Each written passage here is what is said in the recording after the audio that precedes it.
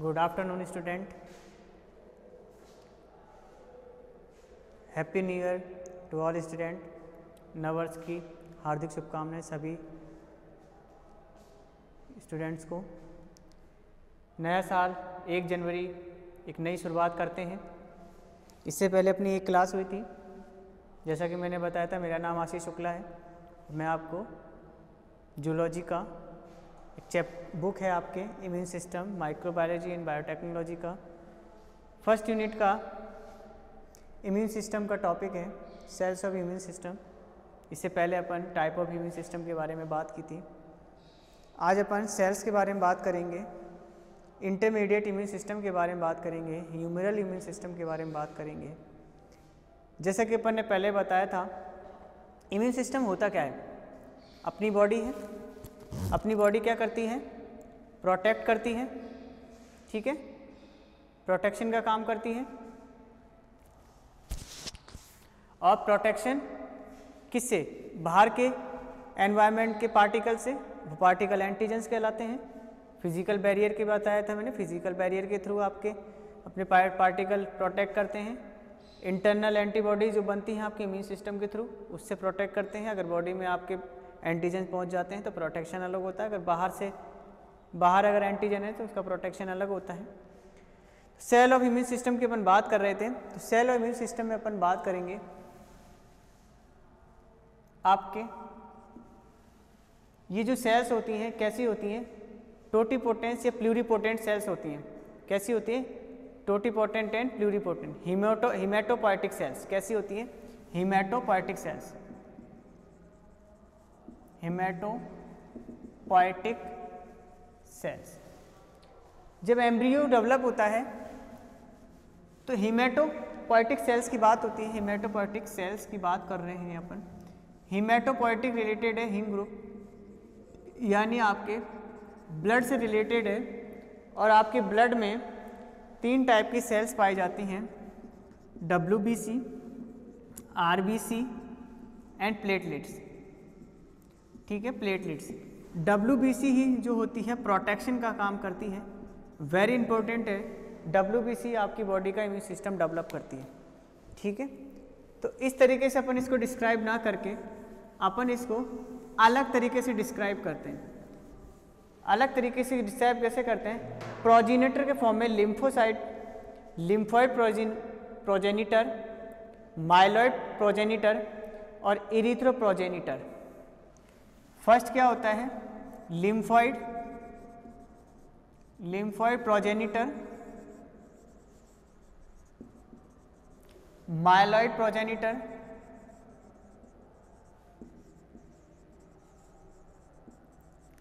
और erythro progenitor.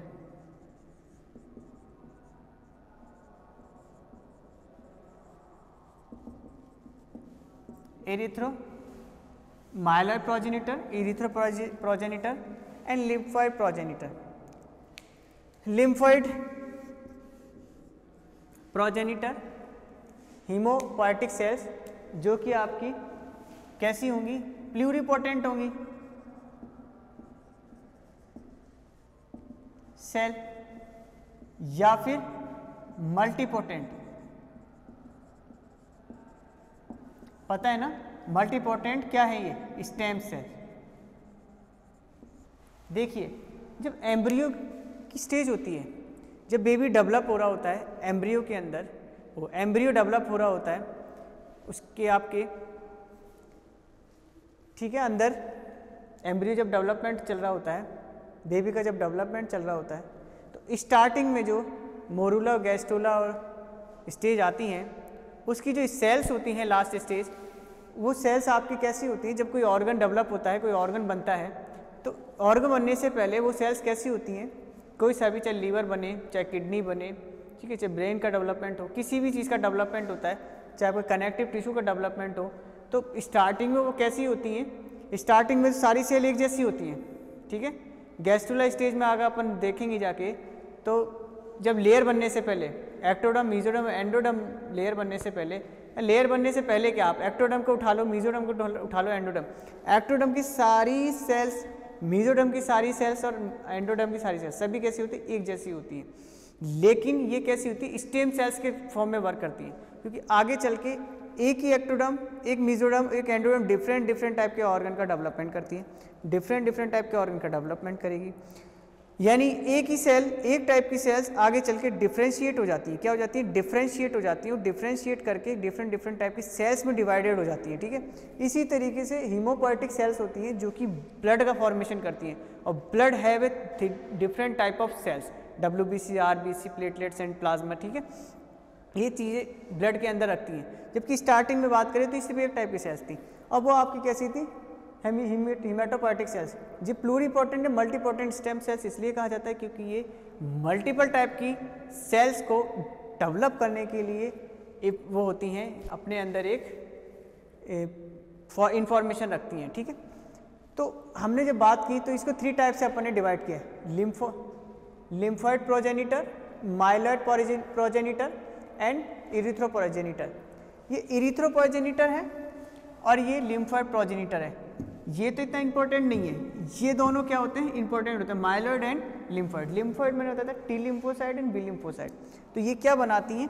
एक तो बी सेल्स बनाएँगी। बी लिम्फोसाइटिक सेल्स और एक क्या बनाती है? टी सेल्स ठीक है? बी सेल्स बनाएँगे और टी सेल्स का फॉर्मेशन करती है। लिम्फोइटिक सेल्स है और वेरी इंपॉर्टेंट सेल्स आपकी इम्यून सिस्टम में एंटीबॉडीज बनाने का, बनाने के लिए जो आदेश देती हैं। ठीक है?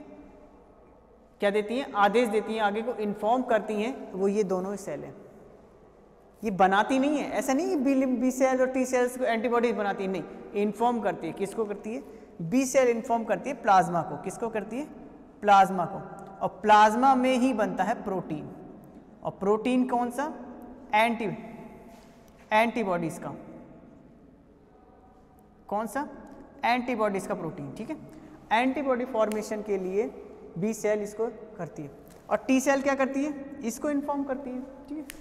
टी सेल बी सेल को इन्फॉर्म करेगी और प्लाज्मा सेल के पास जाकर प्रोटीन बनाएगी। प्रोटीन कौन सा?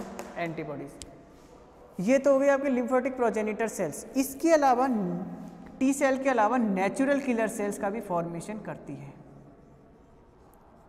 वेरी इंपॉर्टेंट बताया था नेचुरल किलर सेल क्या होती है? जब फेगोसाइटिक सेल फेगोसाइटिक सेल आपकी क्या करती हैं? क्या करती हैं? किसी अदर एंटीजन को एनगल्व करके फेगोसाइट करती हैं। जैसे कि पिनोसाइटिक थी फेगोसाइटिस फेगोसाइटोसिस करती हैं। तो फेगोसाइटोसिस किसके थ्रू किया जाता है? नेचुरल किलर सेल के थ्रू ठीक है? नेचुरल किलर सेल्स क्या होती है? इफेक्टेड सेल्स को सर्च करती हैं, उनको डिस्ट्रॉय कर देती हैं। ठीक है? माइलॉइड सेल्स माइलॉइड सेल्स आपकी कौन सी होती है? पहले तो आप एक बार ये देखिए, दो मिनट के लिए। देखो एक बार, ढंग से।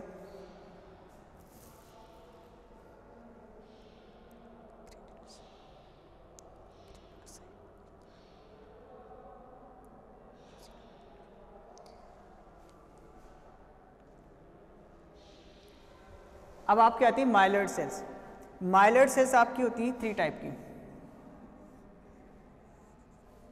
ईओसिनोफिल्स फ़र्स्ट सेकंड होती है आपकी. एक तो हो गया ईओसिनोफिल ठीक है? सेकंड होता है आपके.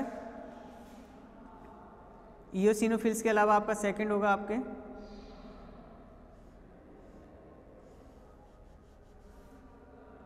न्यूट्रोफिल्स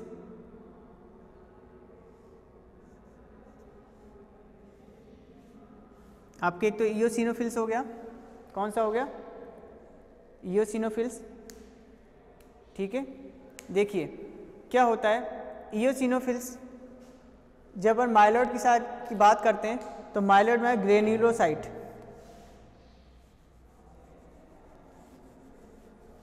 तीन से डिवाइडेड होने से पहले ये ग्रेन्यूलोसाइट्स होती है। ग्रेन्यूलोसाइट ये granulocyte are divided into three type granulocyte are divided into three of three side three type eosinophils ठीक है? इोसिनोफिल्स के बाद न्यूट्रोफिल्स ठीक है? और ये होती है मास्ट सेल्स ये तीनों टाइप की सेल्स में खास बात क्या होती है? इनके पास लार्ज न्यूक्लियस होता है। क्या होता है? Large nucleus and granules present होते हैं। यानी लार्ज न्यूक्लियस होता है और क्या होता है? Fragment of nucleus. Large nucleus भी होता है और न्यूक्लियस फ्रेगमेंट ऑफ़ न्यूक्लियस। यानी कुछ ग्रेन्यूल्स भी प्रेजेंट होते हैं, ठीक है? ईओसिनोफिल्स हो न्यूट्रोफिल्स हो गया मास सेल्स हो गया। ठीक है मास सेल्स हो गया। ये आपके कैसी सेल्स होती हैं आपकी? ईओसिनोफिल्स हो गया न्यूट्रोफिल्स हो गया मास सेल्स हो गया। लार्ज न्यूक्लियस और fragment of fragment of nucleus रखती हैं, जो कि ये ग्रेनुलोसाइट सेल्स कहलाती हैं, ठीक है? ये दोनों ही, ये भी आपके एंटी आपकी प्रोटेक्शन में हेल्प करती है। ये इम्यून सिस्टम का पार्ट है, ये भी एक इम्यून सिस्टम का पार्ट है। इरिथ्रो प्रोजेनिटर में इरिथ्रोसाइट बनता है। एरिथ्रो साइट बनता है जो कि आरबीसी का फॉर्मेशन करता है। ठीक है? और आपके मास्ट सेल्स के अलावा आपकी कौन सी? प्लाज्मा सेल्स का भी फॉर्मेशन होता है। क्या होता है? इरिथ्रोसाइट का सेल्स का फॉर्मेशन होगा। ठीक है? इरिथ्रोसाइट इरिथ्रोपोजेनिटर इरिथ्रोसाइट सेल बनाएगी जो आगे चल के किसमें कन्वर्ट होगी? रेड ब्लड सेल्स में। ठीक है? तो ये उतार लीजिए आप। उतारिए।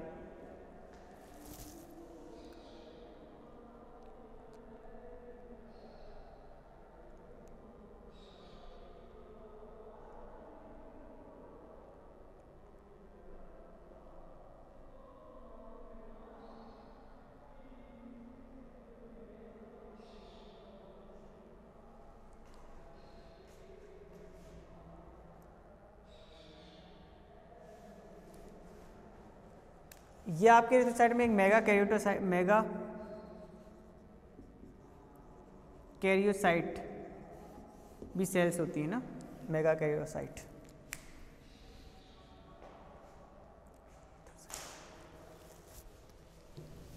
इथ्रोसाइट हो गया आपके।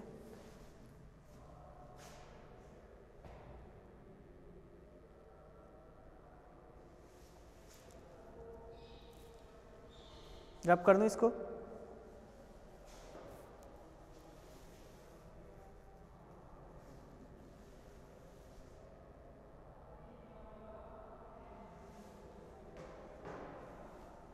इसमें एक जगह नहीं है, इसमें एक चीज़ और ध्यान रखना। माइलर्ड सेल्स के अंदर, यहाँ मैं लिख देता हूँ। आपके माइलर्ड सेल्स के अंदर एक अननोन सेल्स भी होती हैं। जो आपकी फैगोसाइटिक सेल जो होती हैं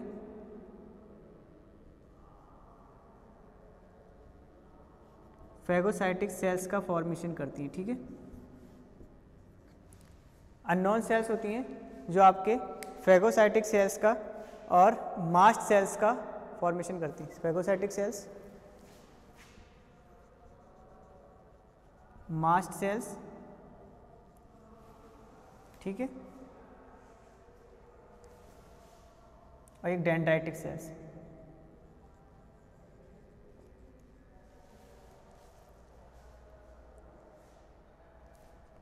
phagocytic cell mast cells and dendritic cell dendritic cells को यहाँ पे लिख देता हूँ। वो उधर वाला तीसरे नंबर का।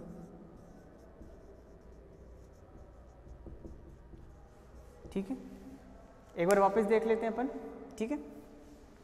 Haematopoietic cell cell of immune system की बात कर रहे हैं। एम्ब्रियो स्टेज चल रहा है। एम्ब्रियो स्टेज में सेल का डेवलपमेंट आरबीसी का डेवलपमेंट कर रहे हैं। डब्ल्यूबीसी का डेवलपमेंट कर प्लेटलेट्स का कर रहे हैं। ठीक है? ये आगे चल के प्लेटलेट्स का ही फॉर्मेशन करती हैं। ठीक है? हिमेटोपोटिक सेल्स की बात कर रहे हैं। हिमेटोपोटिक सेल्स जो प्लूरीपोटेंट भी हो सकती है मल्टीपोटेंट सेल्स भी होती है डिफरेंट डिफरेंट सेल्स का फॉर्मेशन कर रही है। Haematopoietic cells are divided into three type lymphocytic progenitor myeloid progenitor and erythroprogenitor ठीक है? Lymphoid progenitor lymphocytic cells formation करती है। T lymph B lymphocyte and T lymphocyte and and natural killer cells B lymphocyte information देता है plasma को, plasma बनाता है protein और प्रोटीन किस टाइप का होता है? एंटीबॉडीज टाइप का। माइलॉइड की बात करते हैं तो माइलो प्रोजेनिटर ग्रेन्यूलोसाइट एंड कुछ अननोन सेल्स होती हैं। Granulocyte are divide to three type eosinophils neutrophils and mast cells ठीक है? जो कि एक लार्ज न्यूक्लियस वाली सेल्स होती हैं, बड़ी न्यूक्लियस होता है और फ्रेगमेंटेड न्यूक्लियस होता है। इरिथ्रोपोजेनिटर में इरिथ्रोसाइट्स होती हैं मेगा कैरियोसाइट होती हैं इरिथ्रोसाइट आरबीसी फॉर्मेशन करती हैं। मेगा कैरियोसाइट आपके प्लेटलेट्स का फॉर्मेशन करती हैं। इसके अननोन सेल्स की बात की तो अननोन सेल जो होती है phagocytic cells mast cells and dendritic cells का फॉर्मेशन करती हैं। जो आपके अननोन सेल्स होती हैं सारी कैसी होती है? फेगोसाइटिक सेल्स होती हैं, जैसा कि मैंने बताया। फेगोसाइट करने वाली होती हैं, किसी भी बैक्टीरिया को देखती हैं तो एनगल्फ कर लेती हैं, वो डेंड्राइटिक हो मास सेल्स हो या फिर फेगोसाइटिक सेल्स हो, तीनों ही सेल्स क्या करती हैं? बैक्टीरिया को एनगल्फ करके उनको डिग्रेड करने का काम करती हैं। तो इस तरीके से आपको समझ में आया, कोई दिक्कत नहीं है, कोई प्रॉब्लम नहीं है, आगे चलें।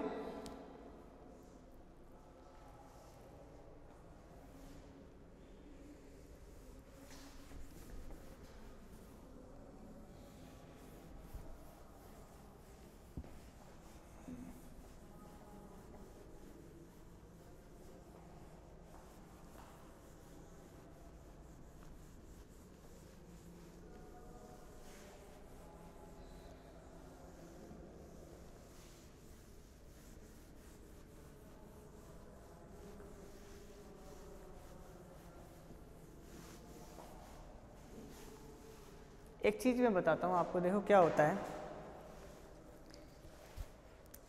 एक टेस्ट होता है मेडिकल से रिलेटेड है, एक टेस्ट होता है।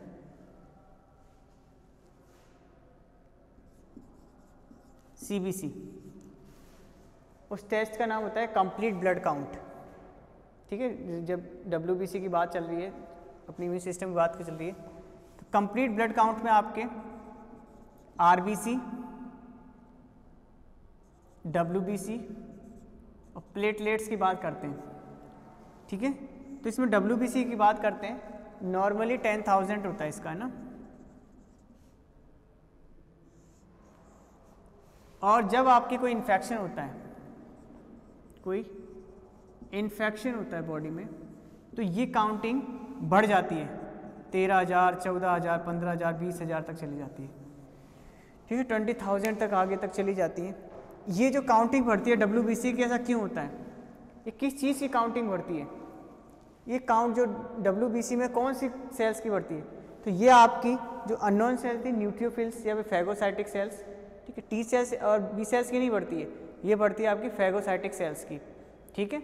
जो आपकी या फिर न्यूट्रोफिल्स की बढ़ती है या फिर आपके मास्ट सेल्स की बढ़ती है। क्योंकि जैसे ही बैक्टीरिया अटैक होते हैं डब्ल्यू बी सी का को अपने नंबर में इंक्रीज़ करना होता है क्योंकि उनको बैक्टीरिया को किल करना होता है। लेकिन कभी कभी क्या होता है फेगोसाइटिक करने के बाद भी इन्फेक्शन क्रिएट हो जाता है क्योंकि वो उसको डिस्ट्रॉय नहीं कर पाते इनगल्फ तो कर लेती हैं, लेकिन टी सेल बी सेल को, के पास इंफॉर्मेशन पहुँचने में टाइम लगता है। इतने में तो आदमी को इन्फेक्शन हो ही जाता है, बुखार वगैरह आ जाता है, तब एंटीबायोटिक देने की बहुत ज़रूरत पड़ती है। कभी कभी क्या होता है, थोड़ा बहुत इन्फेक्शन आदमी कर लेता है। कंट्रोल एक आती है humoral humoral and intermediate immune system immune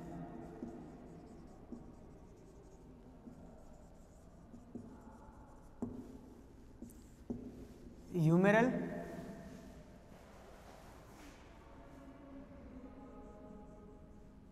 humoral and intermediate immune system क्या होता है ये? Humoral and intermediate immune system देखिए सेल क्या करती है? इंटरमीडिएट का काम करती है। क्या करती है? इंटरमीडिएट का काम करती है। यानी बॉडी में क्या होता है? कोई भी इन्फेक्शन होता है, मान लो आपने कोई बैक्टीरिया एंटर किया तो बैक्टीरिया कहाँ पहुँचेगा? किसमें पहुँचेगा सबसे पहले? ब्लड में। सिंपल है। सबसे पहले बैक्टीरिया कहाँ आएगा? ब्लड में। अब ब्लड में जैसे ही आएगा, वो क्या करेगा? किस पे अटैक करेगा? ब्लड में जाते इसको क्या मिलेंगी?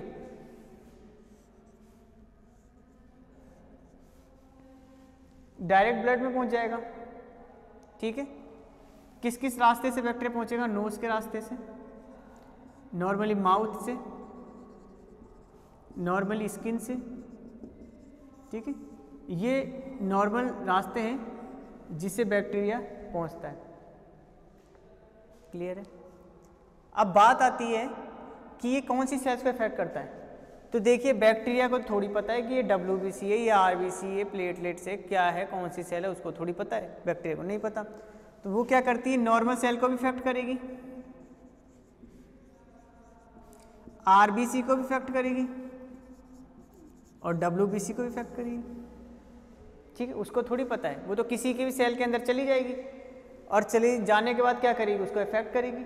उसके मेटाबॉलिक रिएक्शन को चेंजेस करेगी। तो चाहे आरबीसी हो, चाहे डब्ल्यूबीसी हो, चाहे नॉर्मल सेल्स हो, तीनों ही के अंदर अगर किसी एक में भी एंटर करता है वायरस या बैक्टीरिया तो उसकी में कुछ चेंजेस लाएगा। ठीक है? वो चेंजेस ही बताएँगे वो चेंजेज ही किसी भी, जैसे नॉर्मल सेल में हो तो वो कुछ चेंज लाएँगे इसके अंदर, क्या आएगा? चेंजेस आएँगे सिंपल सी बात है, कोई नई चीज़ उसके अंदर एंटर करेगी उस सेल में तो उसके अंदर कुछ ना कुछ तो चेंज आएगा, ठीक है? कुछ ना कुछ तो प्रोटीन नया बनने लग जाएगा, या प्रोटीन ख़त्म होने लग जाएगा डीएनए आरएनए फास्ट काम करेंगे, कुछ ना कुछ तो डिफ्रेंशिएशन आएगा।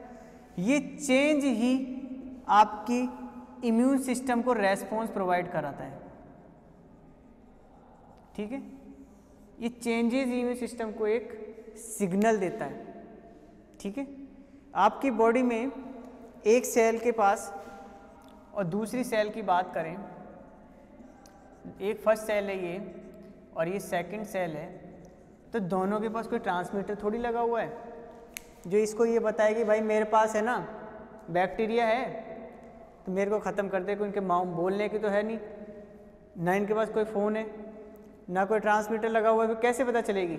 इन एक सेल दूसरी सेल की एक्टिविटी को सिग्नल के थ्रू पता करती है। किसके थ्रू सिग्नल के थ्रू और ये सिग्नल किसके द्वारा पहुँचाया जाता है? सिग्नल के थ्रू और ये सिग्नल किसके द्वारा पहुँचाया जाता है? केमिकल के थ्रू किसके थ्रू केमिकल के थ्रू यानी कुछ ना कुछ केमिकल सीक्रेट करती है सेल उसके थ्रू दूसरी सेल को ये जो केमिकल है वो पहुँचाया जाता है, फिर उस केमिकल को एब्जॉर्ब करके या फिर कैप्चर करके बताती है कि हाँ इस सेल में ये प्रॉब्लम इस सेल को ये हेल्प की रिक्वायरमेंट है, इस सेल को ख़त्म करना है, इस सेल को ज़िंदा रखना है, ठीक है?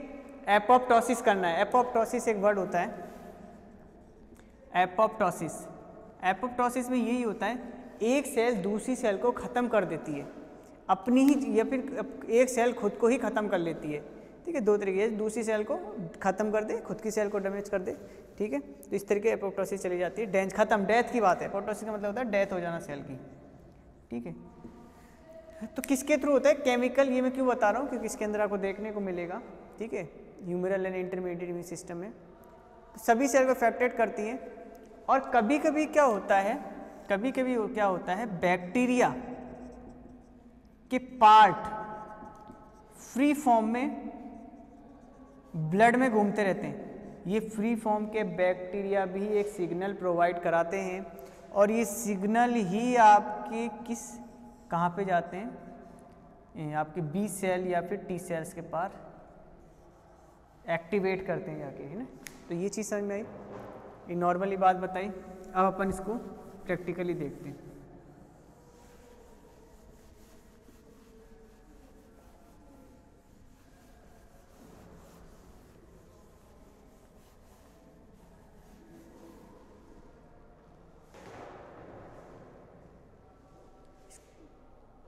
यहाँ से स्टार्ट करते हैं।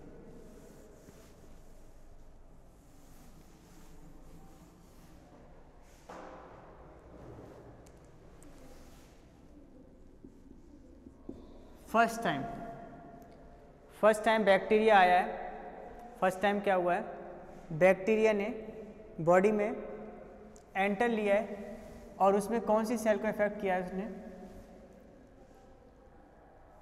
कौन सी सेल को इफ़ेक्ट किया होगा बताओ? डब्ल्यूबीसी में।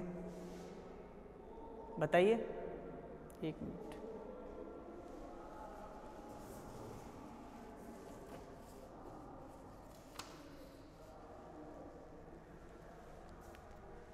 बताइए। क्या होगा? देखिए फ़र्स्ट टाइम एंटीजन आता है बॉडी में। ठीक है? First time antigen enter in the body in blood और सबसे पहले मैक्रोफेजिस मैक्रोफेजिस सेल्स एक्टिव होंगी। और इसको क्या कर लेंगे? एनगल्फ कर लेंगे, ठीक है?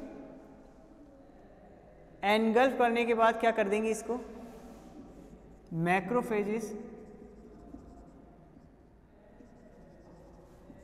are degrade the bacteria ठीक है? बैक्टीरिया को क्या करेंगे? डिग्रेड कर देंगी और एक सिग्नल प्रोवाइड कराएँगे। डिग्रेड तो कर दिया। इफेक्टेड सेल है। किसके पास सिग्नल पहुंचेगा? टी सेल्स के पास। T cells T helper cells के पास जाएँगी।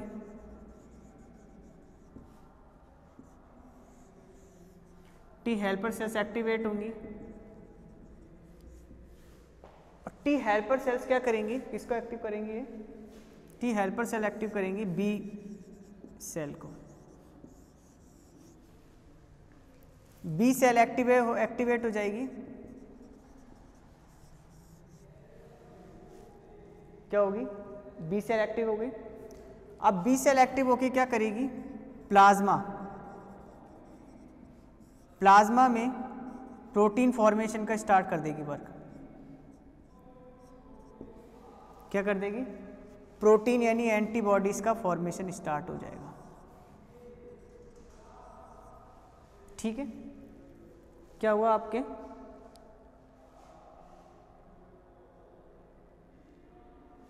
क्या देखा इसमें? क्या समझा? Humoral and intermediate immune system बात करें। फ़र्स्ट एंटीजन ने एंटर किया। मैक्रोफेजेस सेल्स उसको एंगल कर लिया।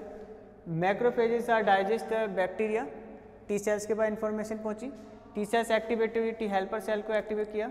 टी हेल्पर सेल ने बी सेल्स को एक्टिवेट किया और बी सेल्स ने प्लाज्मा सेल्स को एक्टिव कर दिया। ठीक है? इसको यहाँ से रब कर रहा हूँ मैं थोड़ा।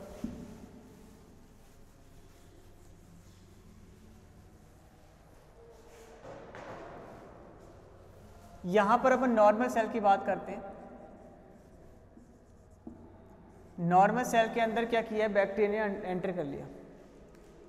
नॉर्मल सेल में जब बैक्टीरिया एंटर किया तो नॉर्मल सेल कैसी हो गई? बैक्टीरियल बैक्टीरियल इफेक्टेड सेल हो गई है ठीक है?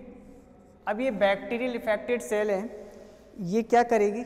साइटोटीटॉक्सिक साइटोटीटॉक्सिक सेल्स को एक्टिव करेगी। क्या करेगी ये? साइटोटीटॉक्सिक सेल को एक्टिव करेंगे। ठीक है? साइटोटीटॉक्सिक एक्टिव करेंगी और कुछ केमिकल रिलीज़ होगा और ये साइटोटी टॉक्सिक सेल्स क्या करेंगी? साइटोटॉक्सिक साइटोटॉक्सिक रिलीज़ करके ये क्या कर देगी? इस सेल्स को क्या कर देगी? डिग्रेड। ठीक है? या फिर डेथ कर देंगे, डेथ। किल।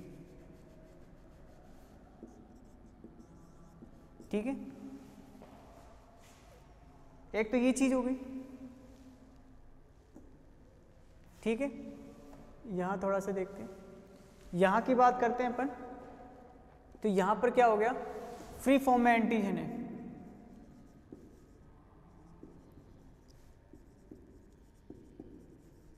फ्री फॉर्म में एंटीजन है फ्री फॉर्म में एंटीजन कैसा होगा? या तो फ्लैजिला होगा, या फिर सेल मेम्ब्रेन होगी। ठीक है? या फिर अदर पार्ट होगा। फ्री फॉर्म में जब एंटीजन एंटर करेगा, ठीक है? तो फ्री फॉर्म में एंटीजन में फ्लैजिला हो सकता है, सेल मेम्ब्रेन हो सकती है, फिर कोई अदर पार्ट हो सकता है, ठीक है? वो क्या करेगा? डायरेक्टली बी साइड को, बी सेल को क्या करेगा? एक्टिव करेगा, ठीक है? डायरेक्टली बी सेल को एक्टिव कर रहा है। ये बी सेल फिर क्या करेंगी? प्लाज्मा को इन्फॉर्म करेंगी और प्लाज्मा क्या बनाएगा? एंटीबॉडीज देखिए फ़र्स्ट टाइम एंटीजन एंटर किया कंप्लीट बैक्टीरिया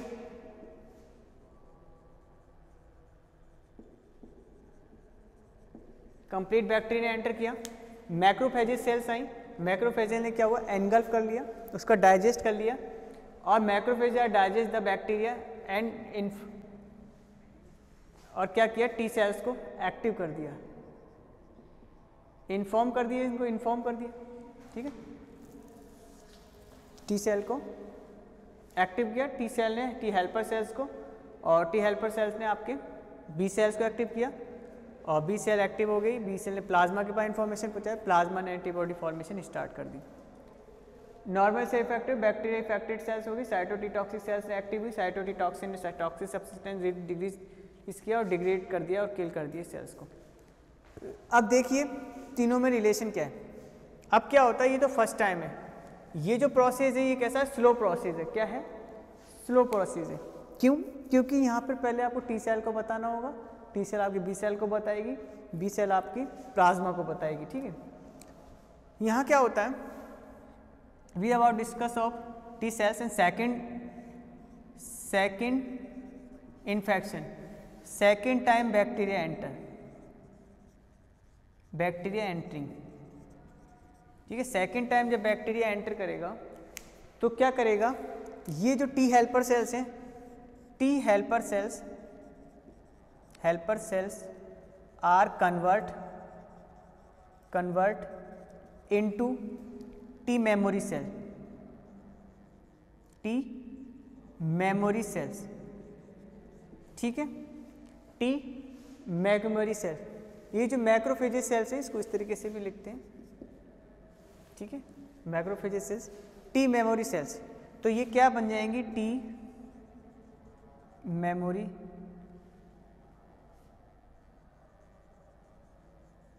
सेल ठीक है? टी मेमोरी सेल ये कौन सी आपकी बी सेल है? B cell are convert B cell B cell are convert B memory cell ठीक है? तो ये हो जाएगी बी मेमोरी सेल ठीक है? अब सेकेंड टाइम जब इन्फेक्शन होगा बैक्टीरिया एंटर करेगा तो सब, अब ये ऊपर वाला प्रोसेस नहीं होगा। अब डायरेक्टली किसको इन्फॉर्मेशन मिलेगी? टी मेमोरी सेल को। क्योंकि फ़र्स्ट इन्फेक्शन जब हो गया है, उसी बैक्टीरिया का तो फ़र्स्ट इन्फेक्शन में उसकी मेमोरी क्या हो गई? स्टोर हो गई है। अब ये T helper cells convert into T memory cells में। अब टी मेमोरी सेल्स के पास सेकेंड इन्फॉर्मेशन पहुंचेगी। सेकेंड टाइम का इन्फेक्शन पहुंचेगा। और सेपरेट टाइम का इन्फेक्शन पहुँचते ही T memory cells B memory cells को इन्फॉर्म करेगी एक्टिव करेगी और ये सेल एक्टिव होते ही क्या होगा? ये प्लाज्मा सेल को एक्टिव कर देंगे इन्फॉर्म करेंगे प्लाज्मा सेल्स उसके लिए क्या बनाने लग जाएँगे? एंटीबॉडी का फॉर्मेशन करने लग जाएँगे। ठीक है? तो एंटीबॉडी का फॉर्मेशन करने लग, हो रहा है। ठीक है? तो just like antibody just like protein का फॉर्मेशन कर रहा है, जो कि प्लाज्मा के अंदर होता है ना। प्लाज्मा के अंदर ये किया जाता है। ठीक है? तो फ़र्स्ट एंटीजन इसके बाद देखिए क्या होता है? इसने इसको इन्फॉर्म कर दिया था एक्टिव किया था। एक चीज़ और है कि फ़र्स्ट टाइम एंटीजन मैक्रोफेज से कंप्लीट होता है तो इसी समय ये T helper cells cytotoxic cytotoxic cells को भी एक्टिव कर देती है। ठीक है साइटोटीटॉक्सिक और टॉक्सिक सब्सटेंस रिलीज़ करता है और क्या करता है? डिग्रेड कर देता है, ठीक है सेल को। क्योंकि जब बैक्टीरिया का इन्फेक्शन होगा तो ये सभी के अंदर पहुंचेगा। देख लो एक बार।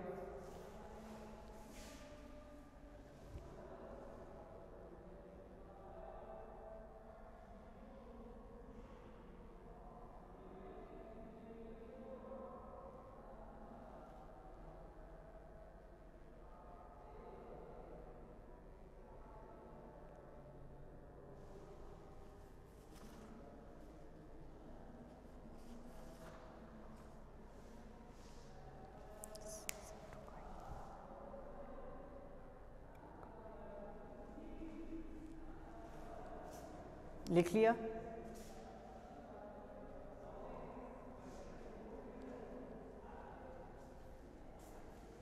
लिख लीजिए एक मिनट और।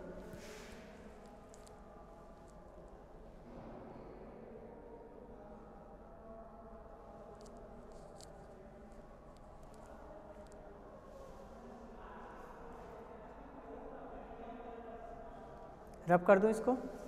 रब कर दूँ? ठीक है, आपने समझ लिया इसको? तो यहाँ पर इसको अपन कहेंगे humoral. Humoral immune system. System. और ये intermediate immune system. Humoral inter, या फिर इसको ऐसे बोल सकते हैं अपन। ये कंप्लीट आपका कैसा है? ह्यूमरल इंटरमीडिएट इम्यून सिस्टम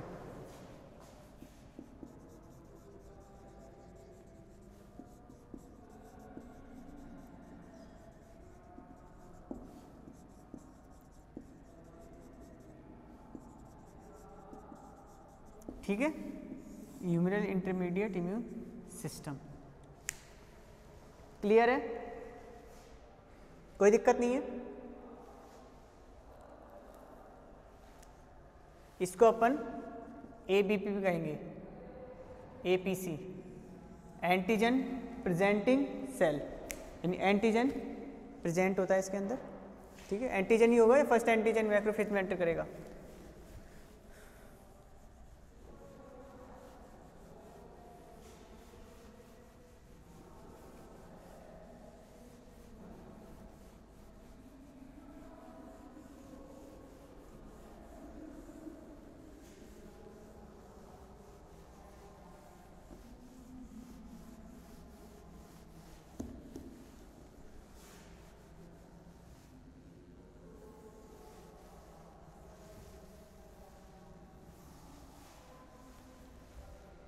अब इंटरमीडिएट इम्यून सिस्टम को देखते हैं एक बार।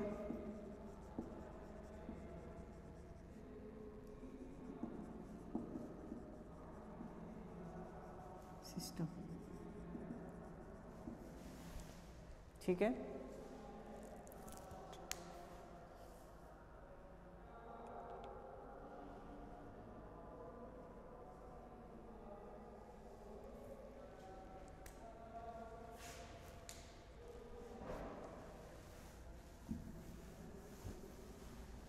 ये सेल मीडिएटेड इम्यून सिस्टम भी कहते हैं।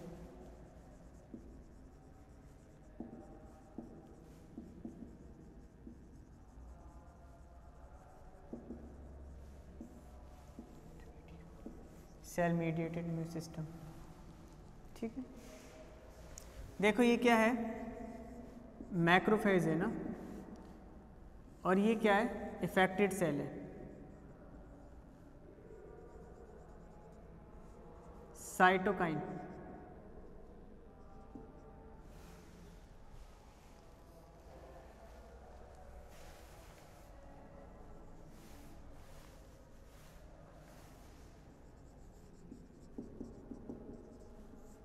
देखिए, जब क्या होता है मैक्रोफेज जब किसी सेल को मैक्रोफेज में जब कोई बैक्टीरिया एंटर करता है तो बैक्टीरिया इफेक्टेड सेल हो जाती है।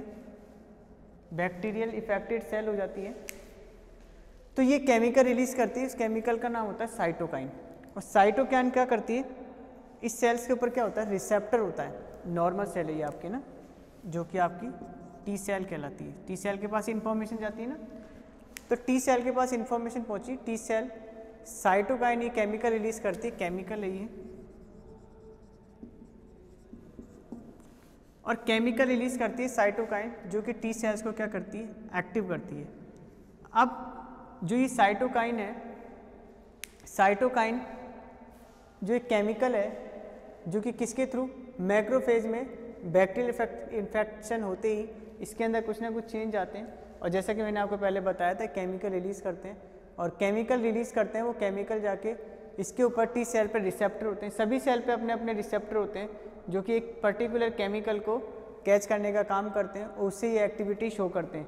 तो टी सेल क्या होती है इससे? एक्टिव हो जाती है। क्या होती है? एक्टिव ठीक है? एक्टिविटी शो करती है। इसको बनाओ एक बार।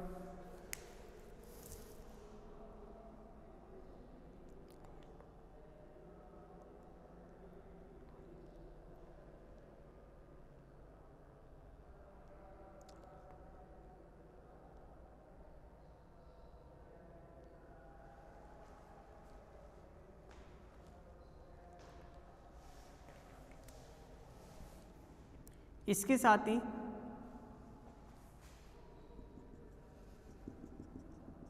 I L twelve chemical release करती है, जिसको ऑटो ऑटो एक्टिव करती है। यानी ऑटो एक्टिविटी शो करती है ये। ट्वेल्व नहीं टू आई एल टू काम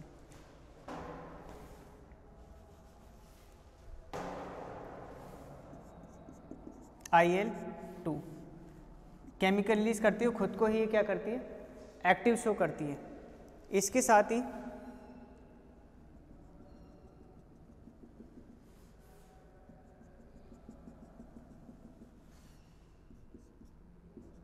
I L two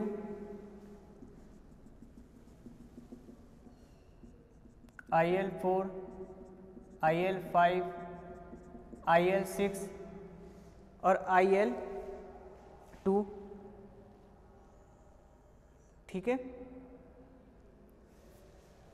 I L four five six I L two natural killer cells को भी एक्टिव करेगी। ठीक है? बी सेल को भी एक्टिव करेगी। टी सेल ही तो एक्टिव करती है ना? टी सेल ही एक्टिव करती है ना? और ये भी आपकी कोई ना कोई सेल्स को एक्टिव करेगी। और ये भी आपके कुछ ना कुछ सेल्स को एक्टिव करेगी। बनाओ।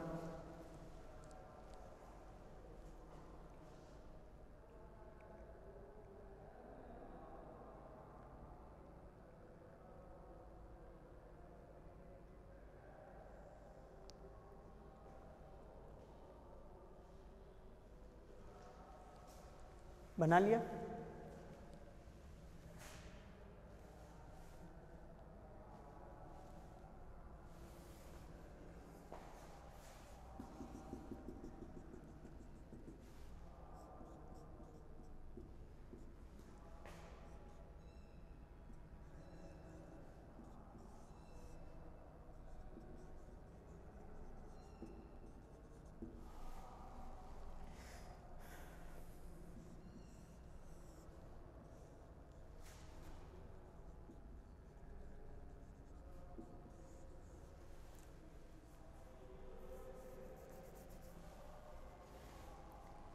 तो आपने क्या देखा?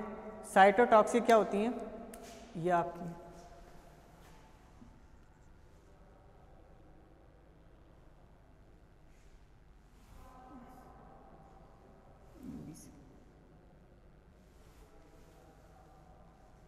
इसको हटा दो।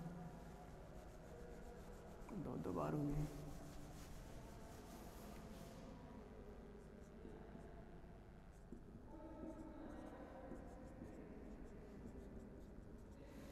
बी सेल को एक्टिव करेगी। इस तरीके से सिंपल सी बात है। आपको इसमें ज़्यादा सोचने की बात नहीं है। क्या अपन पढ़ रहे हैं? सेल मीडिएटेड इम्यून सिस्टम पढ़ रहे हैं।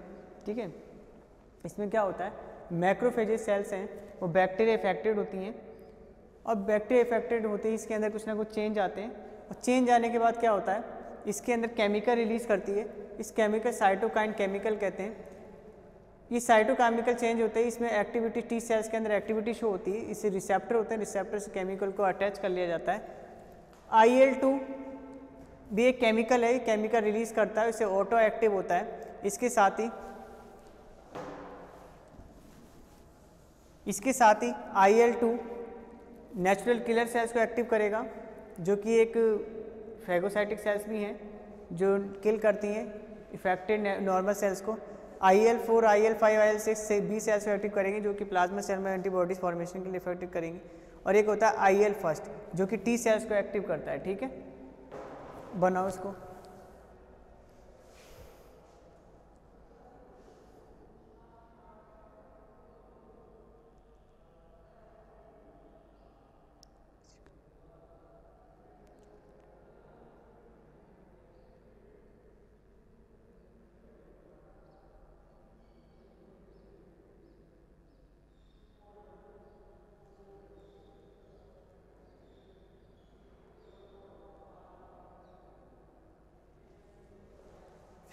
बना लिया?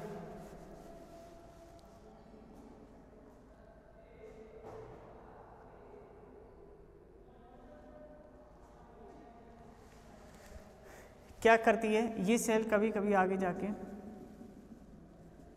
आई एल ट्वेल्व के थ्रू इसको भी क्या कहती है? सिग्नल प्रोवाइड कराती है। और पॉजिटिव सिग्नल देती है ना? ये भी इसको सिग्नल देते हैं। ये भी पॉजिटिव सिग्नल देते हैं, ठीक है? टी सेल है टी हेल्पर सेल को एक्टिव करती हैं। ठीक है? प्लाज्मा सेल एंटीबॉडीज फॉर्मेशन करती हैं। और कुछ केमिकल ये इंटरफेरोन भी रिलीज़ करते हैं। इंटरफेरोन ठीक है? कुछ इंटरफेरोन केमिकल भी रिलीज़ करते हैं इंटरफेरोन अल्फ़ा तो ये टी सेल कुछ केमिकल रिलीज़ करती है, उस केमिकल रिलीज़ करके ये क्या करती है? Natural killer cells B cells plasma cells affected T cells और टी को हेल्पर सेल्स में एक्टिविटी एक्टिव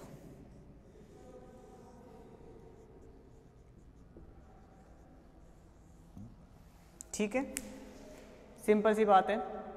क्या पढ़ा अपन ने? दो चीज़ें पढ़ी। Cell mediated humoral and cell mediated पहले वाले में भी चेंज कर लेना इंटरमीडिएट नहीं है cell mediated humoral cell cell mediated immune system जिसमें अपन ने बात की कि किस तरीके से फैगोसाइटिक सेल्स जो कि ये फैगोसाइटिक सेल्स हैं मैक्रोफेजेस मैक्रोफेजेस के अंदर बैक्टीरिया जाता है, जो बैक्टीरिया इफेक्टेड सेल्स हैं, वो टी सेल्स को टी हेल्पर को टी हेल्पर से बी सेल्स को बी सेल्स से प्लाज्मा सेल्स को, फिर एंटीबॉडी फॉर्मेशन होता है नॉर्मल सेल में इफेक्टेड होता है तो साइटो साइटोकाइन सेल्स को पास इंफॉर्मेशन जाता है। इसी तरीके से अगर फ्री फॉर्म में एंटीजन है तो वो डायरेक्टली बी सेल्स को इफेक्टेड करते हैं एक्टिव एक्टिव करते हैं। B cell directly C cell plasma cells को इन्फॉर्मेशन पहुँचती है। प्लाज्मा सेल बहुत सारे एंटीबॉडी फॉर्मेशन करता है। सेकेंड टाइम में जब इन्फेक्शन होता है तो फ़र्स्ट टाइम का जो इन्फेक्शन होता है फ़र्स्ट रेस्पॉन्स कहलाता है। जैसे कि मैंने पहले बताया था सेकेंड टाइम का जो इन्फेक्शन होता है सेकेंड रेस्पॉन्स कहलाता है। फ़र्स्ट रेस्पॉन्स के अंदर क्या होता है? फ़र्स्ट रेस्पॉन्स के अंदर जो होता है प्रोसेस स्लो होता है। सेकेंड रेस्पॉन्स बहुत फास्ट होता है।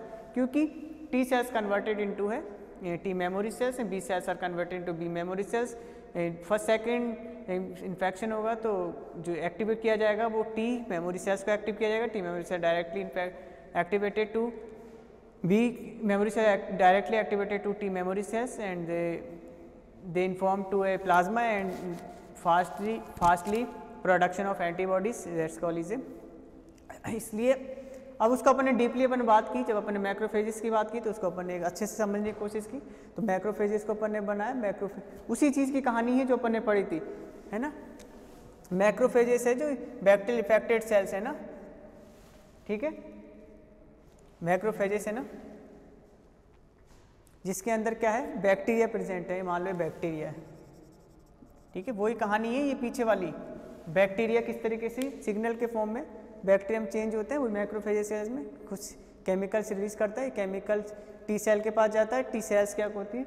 रिसेप्टर होते हैं। रिसेप्टर के थ्रू क्या होता है? ये सेल एक्टिव होती है। कुछ केमिकल्स आई नाम का केमिकल होता है आई से एक्टिव करता है। इसी तरीके से आई ट्वेल्व होता है। आई होता है I L four five six I L one जो डिफरेंट डिफरेंट सेल को एक्टिव करते हैं। और पॉजिटिव सिग्नल इससे पॉजिटिव सिग्नल पहुंचाते हैं। यहाँ से दोनों के बीच में सिग्नल ट्रांसफॉर्मेशन के थ्रू एक दूसरे में इन्फॉर्मेशन पहुँचती है। ठीक है? तो इस तरीके से इस टॉपिक को हमने पढ़ा। ठीक है? तो आज हमने तीन चीज़ों को डिस्कस किया। सेल के बारे में पढ़ा जो आपकी इम्यून सिस्टम की जो सेल्स थी, जो हिमेटोपोइटिक सेल्स थी, जो अपन ने प्लूरीपोटेंट या फिर मल्टीपोटेंट के फॉर्म में उनको देखा। डिफरेंट डिफरेंट टाइप की सेल्स होती हैं। ठीक है? उसके अंदर आपको थोड़ा सा एक बार मैं बता देता हूँ। उस टाइम भी, उस टाइम पढ़ाया था तब, और थोड़ा सा भी बता देता हूँ। जो उसके अंदर इरिथ्रोसाइटिक सेल्स हैं आरबीसी सेल्स हैं, वो आपकी तो इम्यून सिस्टम में वर्क करती नहीं है, वो इम्यून सिस्टम में हेल्प नहीं करती वो आरबीसी आपके ऑक्सीजन ट्रांसफॉर्मेशन में करती हैं, जो कि इरेथ्रोसाइट पढ़ाई थी, जो मेगा मेगा कैरियोटोसाइट थी, जो आपकी क्या बनाती है? प्लाज्मा ठीक है? प्लेटलेट्स प्लेटलेट्स का फॉर्मेशन करती है और दूसरी थी आपकी आरबीसी जो आपका आरबीसी का फॉर्मेशन कर रही थी। इसके साथ ही दो आपकी ये सेल थी डब्ल्यूबीसी वाली, जो आपकी डिफरेंट डिफरेंट टाइप की इम्यून सिस्टम से रिलेटेड सेल्स का फॉर्मेशन हो रहा था, वो आपकी इम्यून सिस्टम से रिलेटेड है, जिसमें आपके इंपॉर्टेंट थी आपकी अननोन सेल जिसमें आपकी न्यूट्रोफिल्स मेगा ये मैक्रोफेजिस थे आपके न्यूट्रोफिल्स थी ना, दो टाइप की वो, तीन टाइप की सेल्स थी आपकी, ठीक है न्यूट्रोफिल्स थी, आपकी मास्ट सेल्स थी हाँ थर्ड तो मास्ट सेल्स ये तीनों ही आपकी मैक्रोफेजिस आपकी फैगोसाइटिक सेल्स हैं, इसके साथ ही आपकी ईओसिनोफिल्स थी आपकी ठीक है यूसिनोफिल्स वाली सेल्स हैं, वो छोटी सी न्यूट्रोफिल्स वाली सेल्स हैं, वो आपकी इसमें हेल्प करती हैं। इसके साथ ही फ़र्स्ट में आपने पढ़ा था डब्ल्यू सी टी सेल्स और बी सेल्स जो कि इनडायरेक्टली आपके इम्यून सिस्टम को एंटीबॉडीज़ बनाने में इंफॉर्मेशन को ट्रांसफ़र करने का काम करती हैं। तो इस तरीके से अपन ने इसको पढ़ा। आज अपन ने तीन टॉपिक क्लियर किए। कल थोड़ा सा हो सकता है, कल दस नेक्स्ट क्लास में अपन इसके बारे में थोड़ा पढ़ेंगे और थोड़ा पढ़ के आगे नेक्स्ट क्लास में इसके बारे में थोड़ा सा डिस्कस करेंगे। और डिस्कस करने के बाद क्या होगा? थोड़ा सा इसमें जो कुछ बचा है आपके सिस्टम का इम्यून सिस्टम पढ़ते ही नेक्स्ट चैप्टर स्टार्ट कर देंगे। ठीक है? नेक्स्ट जो आपका टॉपिक होगा नेक्स्ट चैप्टर होगा। तो आज के लिए बस इतना ही। एक बार रिवाइज करना, देखना और आप लोगों को वापस से नववर्ष की हार्दिक शुभकामनाएँ। नई तारीख, पहला दिन। आपके लिए मंगल में हो ये साल।